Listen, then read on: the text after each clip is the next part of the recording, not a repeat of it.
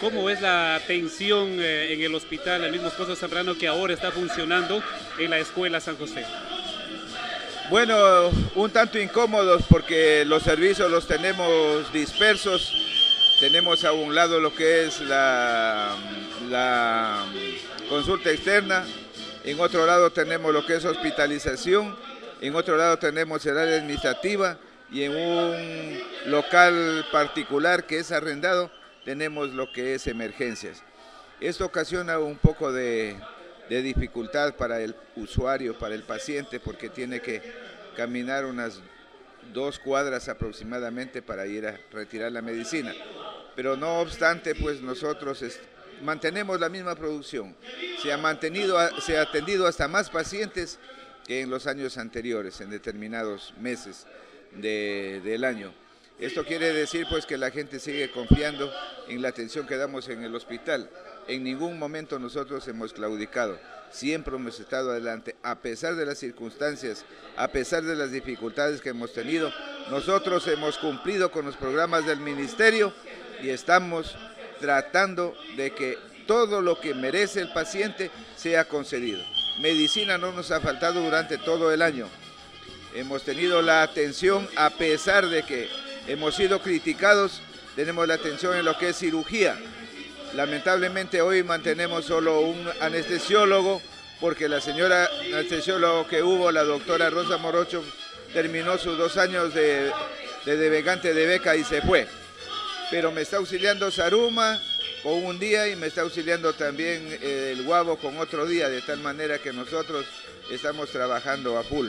Estamos trabajando lo que son las cirugías desde las 8 de la mañana hasta las 8 o 10 de la noche, de manera que no queden operaciones represadas para que el paciente se sienta feliz. Conocemos que el hospital Luis Moscoso va a volver a su lugar de origen. Eh, explíquenos más sobre eso. Bueno, el COE provincial eh, decretó el estado de emergencia en Piñas, no solamente a nivel del hospital, sino también en todo el cantón debido pues al al aluvión que hubo en el, 26 de febrero.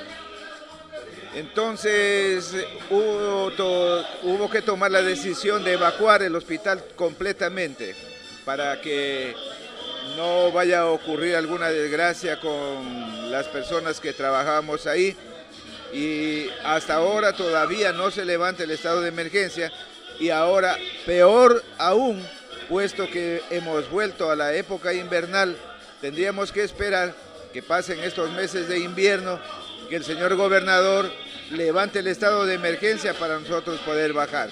Pero otra de las razones para las que no hemos bajado es que esperamos de que se firme el contrato de la construcción del nuevo hospital para de esta manera nosotros estar seguros, a pesar de que el señor presidente de la República hizo su ofrecimiento, es un ofrecimiento presidencial y él jamás ha fallado en ninguno de los lugares donde ha ofrecido para la salud el sustento para que puedan los médicos y los profesionales paramédicos también trabajar. Sobre, sobre los comentarios que es una mala atención en el Hospital Luis Moscoso que ahora está funcionando en la Escuela San José. Explíquenos un poco más de eso y le dejamos sus palabras finales. Bueno, yo no, no sé a qué se refieren de mala atención. Me parece que eso es solamente una apreciación, pero no es en realidad lo que el paciente necesita, porque aquí sería de que el paciente sea atendido. Muchas veces nosotros nos remitimos únicamente al comentario antojadizo de la gente. Por eso le digo, puede ser una apreciación que es diferente a lo que el paciente en realidad está recibiendo. Por ejemplo, hay un paciente que tiene una insuficiencia renal. La alimentación del paciente con insuficiencia renal es prácticamente sin sal, porque el sodio va a provocar un edema, o sea, hinchazón de los miembros inferiores porque retiene agua. Entonces, el paciente, la alimentación sin sal no le va a gustar. Entonces, eso es una apreciación de que no le gusta pero no, es, no sabe que en el fondo esa es la dieta que necesita para curarse.